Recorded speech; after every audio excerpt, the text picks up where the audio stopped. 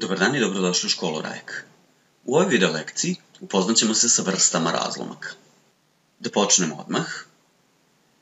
Napišimo razlomke čiji je imenilac 4. Ne možemo napisati sve razlomke, ima ih beskonačno mnogo. Napišimo neke čije je imenilac 4.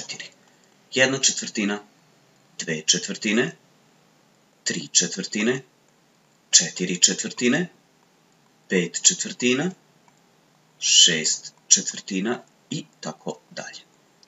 Ne smemo zaboraviti da je razlomak deo neke celine. Razlomačka crta zamenjuje znak deljenja. Mi imamo na raspolaganju neke razlomke. Hoćemo da napravimo vezu između imenioca i brojaca. Pogledajmo ova tri razlomka. Kod tih razlomaka brojilac je manji od imenioca, kod preostalih razlomaka, osim ovog četiri četvrtine, brojilac je veći od imenioca. Tako zapravo i delimo razlomke na te vrste. Ovi razlomci se nazivaju pravi razlomci. Dakle, razlomci kod kojih je brojilac manji od imenioca nazivaju se pravi razlomci. Razlomci kod kojih je brojilac veći od imenioca nazivaju se nepravi razlomci. Međutim, od tih nepravih razlomaka postoje neki razlomci koji se takođe izdvajaju iz ove grupe. To ćemo vidjeti kasnije. Ne zaboravimo da razlomačka crta zamenjuje znak deljenja. 5 četvrtina je u stvari isto što i 5 podeljeno sa 4. Mi znamo kada podelimo 5 sa 4, dobijamo količnik 1, 1 puta 4 je 4, dobili smo da nam je ostatak 1. Primetite, kod nepravih razlomaka, kada izvršimo deljenje, dakle kada brojilac podelimo imenioce, imamo neki količnik koji nije nula, dobijamo broj celih, to se tako zove, dobit ćemo eventualno i neki ostatak. Kada 1 podelimo sa 4, kada 2 podelimo sa 4, kada 3 podelimo sa 4, mi kao količnik dobijamo broj 0. Kažemo da ti razlomci nemaju celih. 4 četvrtine je specifičan razlomak. Hajde da podelimo. 4 četvrtine je isto što i 4 podeljeno sa 4. Kada 4 podelimo sa 4, dobijemo količnik 1. To zapravo znači da su 4 četvrtine isto što je prirodan broj 1. Ovo su takođe razlomci, međutim ti razlomci se nazivaju prividni razlomci. Samo ime im kaže zašto su prividni. To jesu razlomci, ali su to razlomci koji u stvari predstavljaju cele, to jest prirodne brojeve. Zato smo rekli da među nepravim razlomcima takođe postoje prividni razlomci. Pogledajmo razlomak 8 četvrtina. To jeste razlomak, možemo da kažemo da je nepravi pošto je brojilac veći od imenioca, ali kada izvršimo deljenje, dobit ćemo kao količnik broj 2. To zapravo znači da 8 četvrtina takođe predstavlja prirodan broj, to je prirodan broj 2. I to jesu definicije, hajde sada da ih zapišemo. Razlomak čiji je brojilac manji od imenioca naziva se pravi razlomak. Razlomak čiji je brojilac veći od imenioca naziva se nepravi razlomak, a razlomak čiji je brojilac deljiv imeniocem, naziva se prividan razlomak. Hajde malo ovo da uvežbamo. Napisati sve prave razlomke čiji imenilac 5. Nama trebaju pravi razlomci čiji imenilac 5, dakle brojilac mora biti manji od imenioca. Kad radimo zadatak pod A, imamo jednu petinu, dve petine, tri petine i četiri petine. Zadatak pod B, napisati sve neprave razlomke, čiji je brojilac 7. Dakle, brojilac je 7, iznad razlomačke crte pišemo broj 7, trebaju nam nepravi razlomci. Napisat ćemo 7 jednina, 7 polovina, 7 trećina, naglasit ćemo malo, pričat ćemo ovih 7 jednina, 7 četvrtina, 7 petina i 7 šestina. Za 7 jednina možemo takođe da kažemo da je prividan razlomak. Zašto? Pa 7 je deljivo brojem 1, dobit ćemo prirodan broj 7. Idemo na sledeći zadatak. Dati su razlomci 2 petine, 9 jedenaestina, 7 šestina, 25 kroz 52, 89 kroz 51 i 142 kroz 19. Dati je razlomak 2 kroz 10.000. Podvući prave, a zaokružiti neprave razlomke. Još jednom da se podsjetimo, razlomci su pravi ako je brojilac manji od imenioca, a nepravi ako je brojilac veći od imenioca. Idemo redom. Dve petine brojilac je manji od imenioca, to su pravi razlomci, dakle ovo treba podvući. 9 jedanaestina, opet je brojilac manji od imenioca, dakle i ovo treba da podvučemo i ovo je pravi razlomak. 7 šestina, Ovo je nepravi razlomak zato što je brojilac veći od imenioca, dakle treba da zaokružimo. 25 kroz 52, ovde je brojilac manji od imenioca, pravi razlomak, 89 kroz 51 je takođe nepravi razlomak, brojilac je veći od imenioca, dakle treba da zaokružimo. 142 kroz 19, opet nepravi razlomak, i 2 kroz 10.000 je pravi razlomak, pošto je brojilac manji od imenioca, dakle treba da ga podvučemo. Idemo na sledeći zadatak.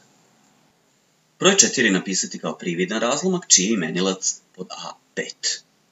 Nama trebaju razlomci, radimo zadatak pod A, treba nam razlomak, čiji je imenilac 5, a taj razlomak je prividan i jednak je broju 4.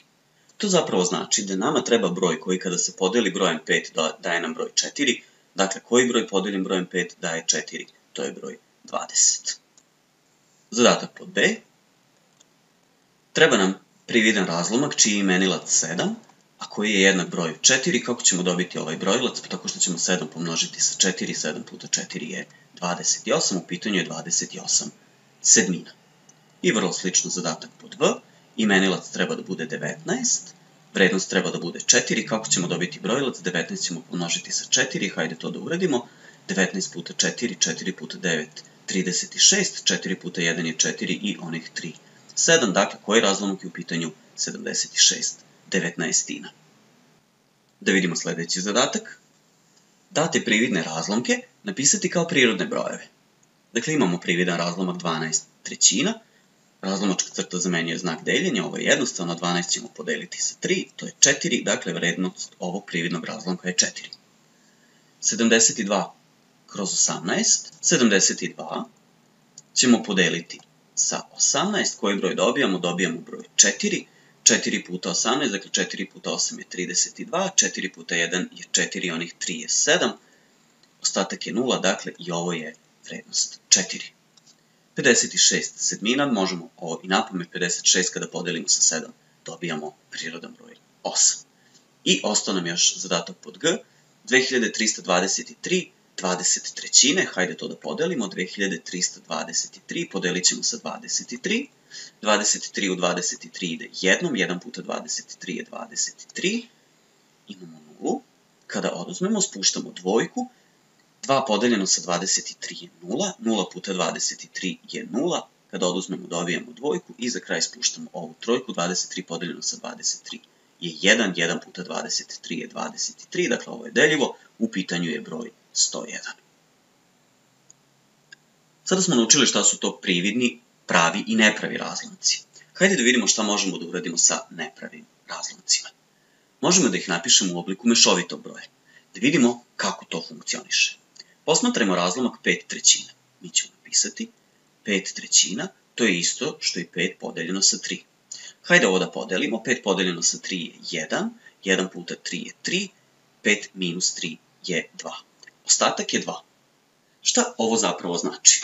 Ako imamo 5 čokolada, treba da podelimo na 3 učenika. Svaki učenik će dobiti po jednu celu čokoladu, a onda imamo još dve čokolade koje ćemo podeliti na tri jednaka dela, to već znamo, tada dobijamo dve trećine za svakog od učenika.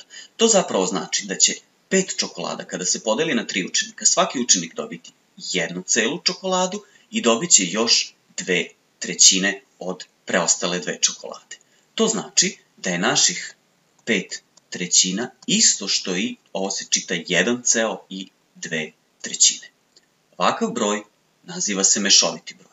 Zašto?